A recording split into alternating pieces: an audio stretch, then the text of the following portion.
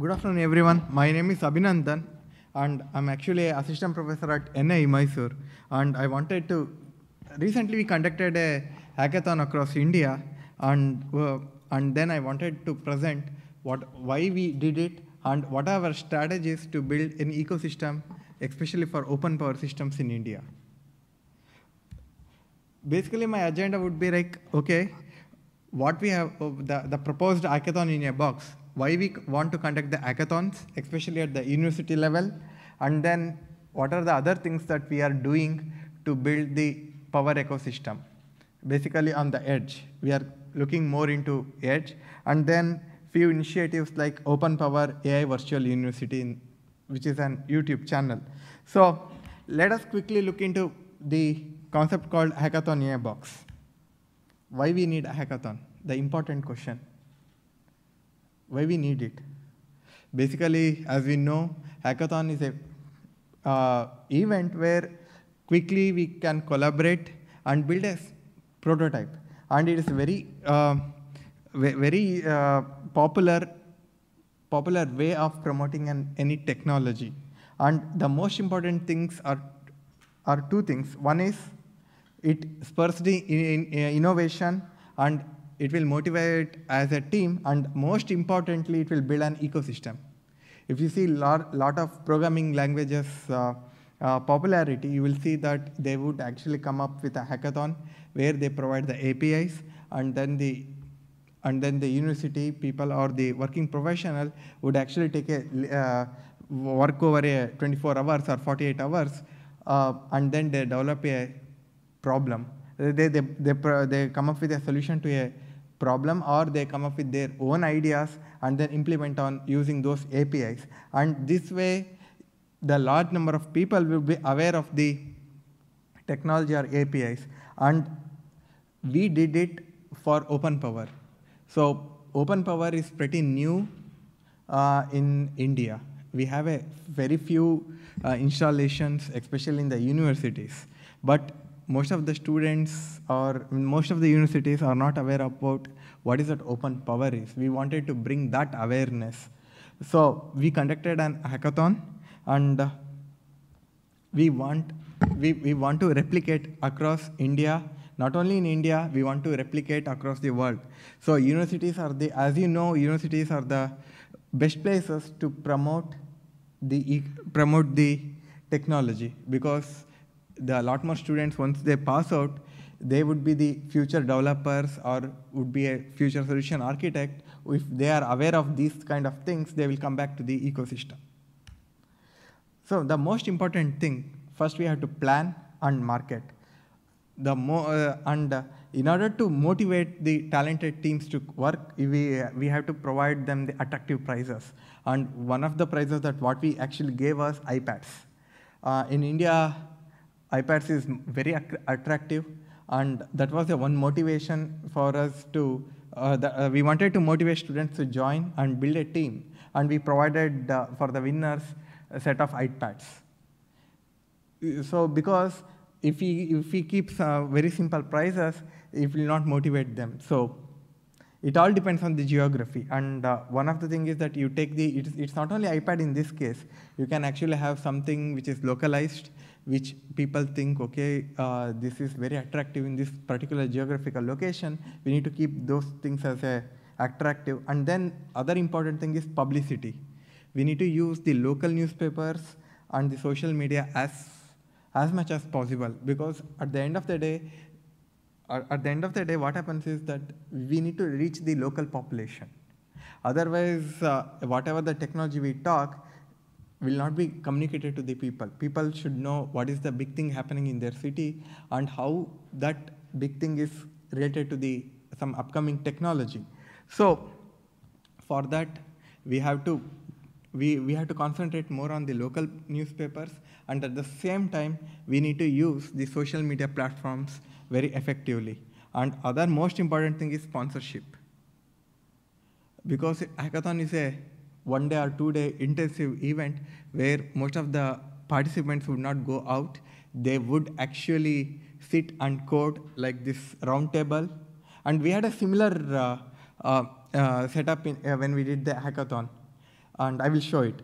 So in order to sponsor, uh, in order to conduct those kind of hackathons, we need to get get the sponsorship, and for doing the sponsor, for getting the sponsorship, we need to create uh, create a database of sponsors whom we can approach, and the best cases would be the ISVs of the open power ecosystem, where they can they can sponsor the event and showcase, showcase or give, give the some problem statement so that the um, uh, the teams will work on those things. And then we need to have we need to give them sufficient amount of time right? So we cannot just go before a week and say look i need some money to run my hackathon. And that's not a possible. We need to plan it and we need to approach approach them and give them sufficient of time. And not only that this will give this is a win-win situation for both the teams and the isvs so on the on the d day the day on hackathon generally we what we do it was we had a we had a huge auditorium in our university and we leveraged it. If you don't have if, so most of the time few colleges they don't have the big auditorium. You have to run rent some conference hall like this and then you conduct there. Uh, and yes food is a most important factor because you need to keep you need to keep them motivated and they, otherwise they would actually go out and look for some food and all those things. So you keep them you supply them the food they would be very happily coding or hacking the things. So whether you like it or not food is, food is a food is an important part of a, any motivation. And then the thing is that you can actually you know, see most of the time the teams actually come from other places. It is not not only the locals. So preparing them, uh, giving them the local delicacies and pizza boxes and all those things would would help them to build a better uh, uh, better sense of uh, connection with the event, which in turn will translate to the the hackathon. And then we need a substantial good good internet speed. And this might not this, might not be applicable to the country uh, like Europe, European countries, but this is a these are the things that uh, are really necessary for the emerging economies, where still we are working on the high-speed internet because most of the time our servers would be other uh, would be outside India, and we we not we need to work on that. And then yes, you will have a website website for the registration. You you automate it because the manually it is it is a laborious process to keep track of everything manually and then you arrange the dormitory for the local non-local teams, people who actually come. Uh, instead of giving the headache uh, headache for them about finding the accommodation, but as an organizer, hackathon organizer, if you provide them the dormitory facility, they will be concentrating mainly on these ideas. And then on the on the day, and not only the hackathon, you need to actually promote the AI. So for that, you actually want to have some kind of guest lectures from both academia and industry. Academia will give you one, one aspect or one, one dimension in their understanding. At the same time, industry gives the other dimension. So as a, once you organize those kind of lectures, the, the participants or the teams would get an would get an overview how what are the what are the things that, that is expected from the academia and from the industry so that they can try to build a synergy between the both academia and industry. Otherwise if we keep biased right if we if we actually have only concentrate on only one of them the solution might tend to be more biased towards either of them. So we want to have a balance where at the same time it should contribute to the knowledge at the same time it should it should fulfill a, some purpose. And we need to build that, uh, a, we need to build that one when we actually organize the hackathon. And then, yes, jury. So don't involve the local people. The organizer should, should not be the part of jury you invite people from the industry and academia, probably from different companies. When we did a hackathon uh, in India very recently, we add IBM people from IBM research and Adobe research as a part of jury. Even though we tend to uh, we work on AI, we never we, we were not the part of the jury. The reason is we did not want to have that kind of bias uh, for our students because uh, our participants were across the India, and they came to our place, and we did not uh, did not want to show them like give us some iota of doubt, saying that okay, these guys are the local guys, and they might prefer the local teams. No, and it it will add to a lot of credibility, and these things would be translated back to the ecosystem. So let me go through some important uh, projects, the top finalist projects that we uh, that our student participant did. One is neural style transfer. Basically, you take the digital image to adopt the visual style of another image. And it's a pretty known concept. For instance, if you take these two photographs, right, it's a well-known joker and it's a, some heart. So what the, peop, uh, what the team did was they they manipulated the image such a way that you find the artistic joker. This is not a new concept, but they did it on the OpenPower platform within a within two days. We had a hackathon for two days, and they did this one. One of the team did this one. They, they coded from the scratch. They, they pulled some uh, they, they pulled some GitHub project and then added and then made, made uh, work on the uh, Power platform. And other very innovative thing was this was a first prize. Um, this, this actually, this idea won, has won the uh, hackathon contest. Uh, basically, it is a gender classification of silkworms. And India is known for the, uh, the, the state where I am from is known for the silk. What we generally do is that when you actually have the cocoons, the, the, uh, the, the, the, uh, cocoons are actually uh, boiled to yarn the silk. The thing is that the important uh, problem they have is identification of male and female. So that is a, currently a laborious process. And what happens currently is that they will have they will have a manual laborers who actually pick and look at the cocoons manually, and then they segregate as a male and female. But the, the, the problem is you cannot scale it. So this team, what they did was they went to the department, the government, where they actually do this kind of job. They took the photograph, they developed a, a machine deep learning algorithm where you can actually classify. They, they achieved around 95% uh, accuracy. And they are now working on making it as a full product.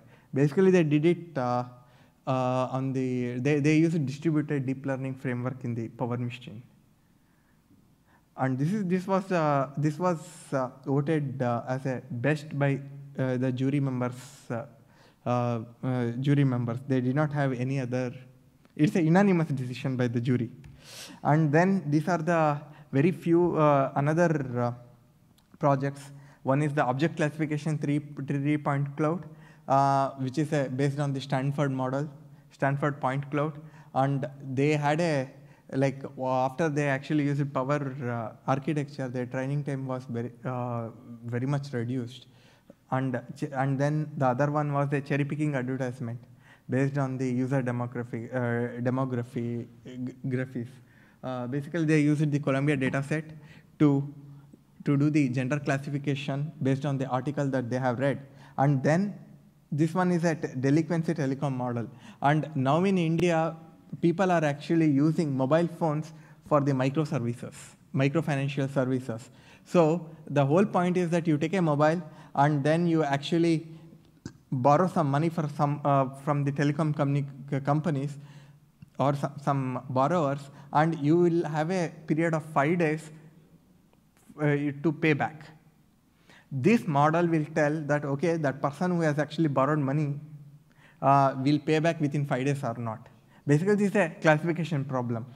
And they have implemented all those things in the, uh, uh on the power, power systems. And this is the place where we did the hackathon. Uh, and we have a couple of photographs. Uh, and then th this is very similar to what we have.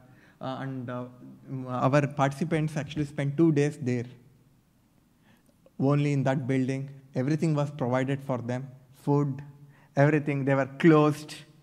We, we, we kept it open, but still, our participants were motivated enough. They did not get the time to go out. uh, yeah, we had all the amenities there. Our university has built specifically for this uh, purpose. And then the second part would be, okay, we did a hackathon, but what is our future strategy? What is the future strategy? Where we want to take it or where, where, where we want to go? And one strategy that what we are thinking is to move to the edge AI. And you know, edge, edge is a big thing now. So we know that every each and every year the revenue generated by the cloud is increasing. And the services that is offered is not only, no, is not only becoming complex, but is generating a lot more revenue. For instance, uh, my friend actually told that they actually have the uh, services hosted on cloud for the manufacturing uh, industries. And the same thing happens. There are a lot more innovation happening on the cloud. And not only that, we are moving to the edge to reduce the latency. For instance, typically what happens is that we have a cloud data centers where we put everything, but on-premise, we are moving some things back to on-premise to improve the performance. For example, if we take the video streaming, we, we will deploy, we will, uh, we will use CDN's kind of technology to reduce the, for instance, Netflix. Netflix is CDN, uh, CDN kind of technology to improve the uh, er, to, Im to improve the response, right? The streaming experience. So same thing is happening, and this was a CDN was a very um, old concept in the networking, and these kind of things are coming back to the cloud. And now we are telling that okay, we are going for on-premise, and then we want to have the solutions which can go go to both, which will work both on the edge and which will go to the cloud. So at the first level, the edge is my, as a customer, the edge is my starting point where I will interact. And then if I actually get a, if I can find something, then it's fine. Otherwise, I will pull from the cloud. So in this way, I would be providing the seamless experience. And then the edge, you know, is a lot more companies are, uh, are investing a lot, especially the Microsoft. Microsoft is actually a one who is actually pushing the edge computing uh, um, uh, edge computing market. And recently they have a uh, they have a CCTVs installed and they are developing a lot more uh, video analysis on top of it. And then if you see the the edge market computing market size, especially in US, you would see that the it is predicted that in another five years we would we would we would have a significant revenue from the edge softwares. So and then that's the, one of the motivation for us to go and use, explore open power in the, with respect to the edge. And this is the edge we are talking about. And these kind of devices we are trying to build with the edge. These are, these are, uh, these are the devices, for example, this is a Xilinx board. This is our edge device. And similarly, we have NVIDIA, uh, we, we have the NVIDIA Jetson Nano. Uh, one of one of my students is working on building some edge solution by connecting with the power uh, uh, power machines. So these are the things that we are trying to build, and and what is happening is that we for that we actually created a open power AI virtual in, uh, university, and most of the time it is a YouTube channel where when we do the significant work we go and upload it. So that the readers are, the, the subscribers are aware of what are the things that is happening around uh, with respect to the open power, how we are building, how we are leveraging open power on the, uh, with respect to the build solutions, especially in India. It is not only limited to India, but we are looking for the innovative solutions. What are the things that we built using open power? We'll, we'll upload here. So there is a one kind stop solution or one kind, uh, one-stop uh, place where people can look, oh, look, what is the innovative things that happening in the open power. And this is an internship experience uh, which our one of our um, mm, intern uh, actually add. and he's uh, from IIT Patna. You can actually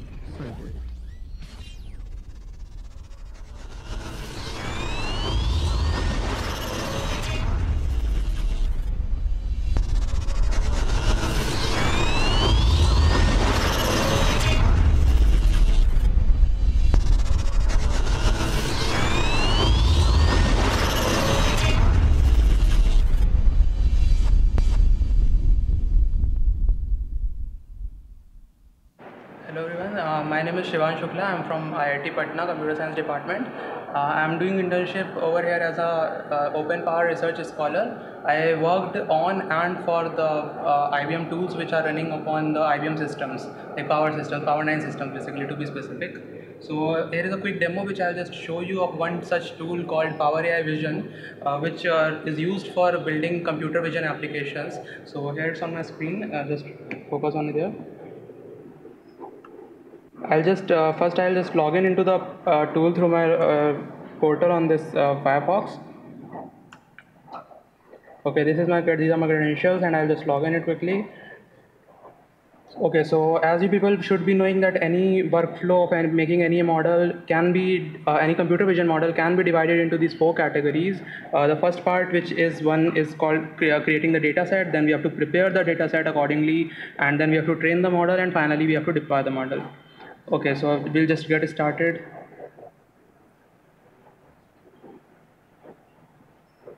Okay, as you can see, these are the models which I have worked upon and uh, made some things to do with this model as my research career, like uh, this uh, de detecting breast cancer from these uh, tissue images, uh, making emotions, uh, emotion detection model, um, creating and like this MNIST model, I'll just pick up one, uh, any one, the basic, most basic model, the MNIST one, which all of you who uh, go through uh, uh the, who proceed in this career of machine learning and data, deep, deep learning and all, then everyone at least once uh, go through this model. I'll just show you how to use this tool to make this model. Okay, so first of all, we have to create a new data set over here. Uh, I've already created a data set, so I'll just show you how this data set is, like what this data set is. Okay, so there here you can see that there are categories and objects uh, filtered by images, videos. So while making this, while creating this data set, you have you can upload your images, you can upload your videos, and then you have to label your data on your own. Like uh, as we all know that initially we have to tell the computer that uh, tell machine that this is what this is, and after that it uh, recognizes the pattern and trains itself, and uh, then we have to just do the inferencing part. So here I'll just uh, I'll first show you how the data set has been created manually this data set is created. Okay so these are the categories. On the left you can see that there are categories of uh, from number 0 to 1 3 4 7 9 and all the numbers. So these categories are actually the categories in which afterwards while inferencing the model will uh, send the image to like if i input a an image it will tell that that image lies in which category and with the percentage score like percentage confidence level.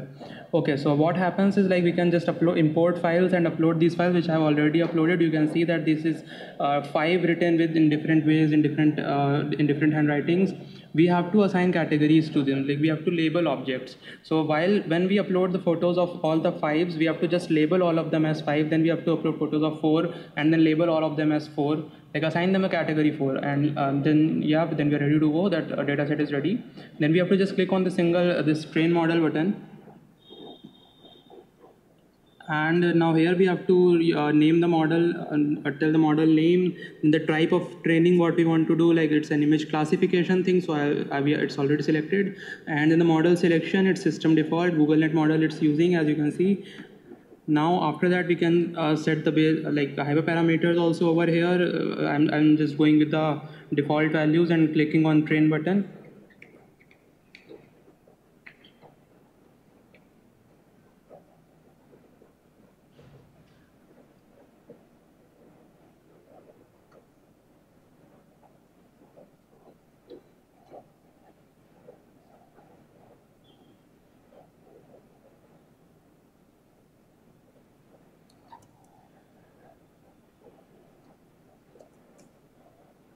Okay, so in the model section, if I come, I'll see my jobs scheduled and jobs completed. Like this MNIST model here, it comes up as trained written at the bottom it's written trained. It takes around 10 to 10 to 15 minutes. I've skipped that part training on 60000 images. Uh, we'll have to uh, be waiting for 10 minutes. I've skipped that part and just showing you the trained model already which is over here uh, here we can view this uh, view the metrics associated with this model like it's uh, showing that 97% is the accuracy precision 88% recall recall stats 88% then these were the hyperparameters which we were using for this training purpose uh, if you want to see the advanced, advanced metrics like confusion metrics and PR curve for a particular category or more categories you can see and compare. Then, uh, then we have to just simply click on deploy model. I've already deployed it. So I'll, uh, this model comes up here after deploying. Uh, also in between, I want to tell you that uh, you people must be thinking that what if uh, we want to uh, train a model on ourselves, like you have to define your own model. In that case, there is an option of custom model over here, you can see. So this custom model gives you an opportunity to uh, run your own model, like uh, your own algorithm, designed algorithms on this, on this server. For that, you must be having a little bit of knowledge of IBM Caffe library and TensorFlow models are supported. Okay, so I'll just show you this how this MNIST model is working right now. This is deployed model, and uh, while showing uh, this shows that it has 97% accuracy, and it has also given you an I, I API endpoint. So you can, uh, you people must be familiar with, with what what an API is. So with, with using this API, you can use this model to perform actual tasks while building a web application or maybe a mobile application or something else, writing a pro pro program for a software or something. Okay, so I'll just show you that how this runs. I'll just import a file. Um, this I have this. Uh, photo over here in my desktop which I'm uploading. It will do the inferencing on that photo and show me the results. Okay, so this was the photo. It's tough to recognize, but it's actually someone has written 5 in this kind of handwriting. So the category, it's falling into 5 with confidence of 0.51. That is, it's 51% it's saying that it is 5 and 46% it's saying that it is 2. So yeah, we can set a threshold value in our program when we are building a web app or maybe a um, mobile application or some Python program or something for a software. Then we can set up the threshold value and make it fall into the uh, category of um, uh, five as, as, that labeled category. Okay, so this was it, and uh, this API you can use to build those apps and all. Uh, there are various models which can be built various um, you can start go for go and search for the novelties and start building your own models which may create an impact on society. And yes the how these IBM power systems come in use that the processors and all which they are using they just uh, speed up this process very fast. Like suppose if I was to train this model MNIST1 with 60,000 photos in my uh, Intel processor laptop uh, this into 86 uh, type server it would have taken around one and a half hours. As I've tested it takes around one and a half hour for the training process which we can do on this IBM Power uh, Power 9 servers in within 10 minutes 10 to 12 minutes. Yeah so that's all that's all from here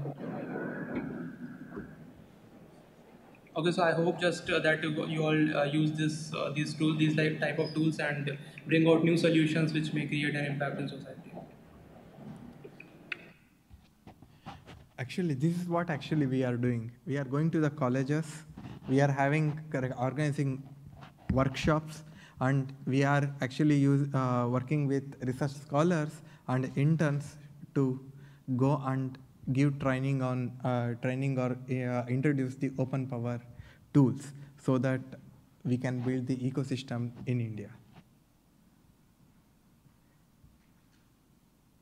So that's all from my side. Excellent. I think we start by clapping first. That was pretty impressive.